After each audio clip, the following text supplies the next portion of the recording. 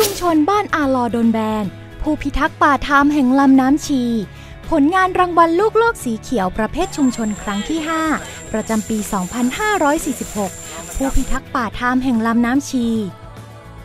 ภายใต้การหลอมรวมทางวัฒนธรรม ผ่านกระบวนการสั่งสมองค์ความรู้และสรุปบทเรียนด้วยตนเอง พลิกฟื้นผืนป่าที่ถูกทำลายจนโล่งเตียน กลับมาเป็นผืนป่าที่อุดมสมบูรณ์และใหญ่ที่สุดแห่งลำน้ำชี แต่สมัยเมื่อก่อนนี่มันมันโล่งเตียนหมดครับพวกผมพอดีพวกผมที่เริ่มอนุรักษ์ที่เริ่มสงวนมา ผมรู้สึกว่าภูมิใจมากในฐานะที่ผมเกิดมาเป็นคนไทยคนหนึ่งมาอนุรักษ์พื้นป่าในตรงนี้เพื่อตอบสนองบุญคุณแทนพระบาทสมเด็จพระเจ้าอยู่หัวของเราครับคือรัชกาลที่ 10รัชกาลที่ 9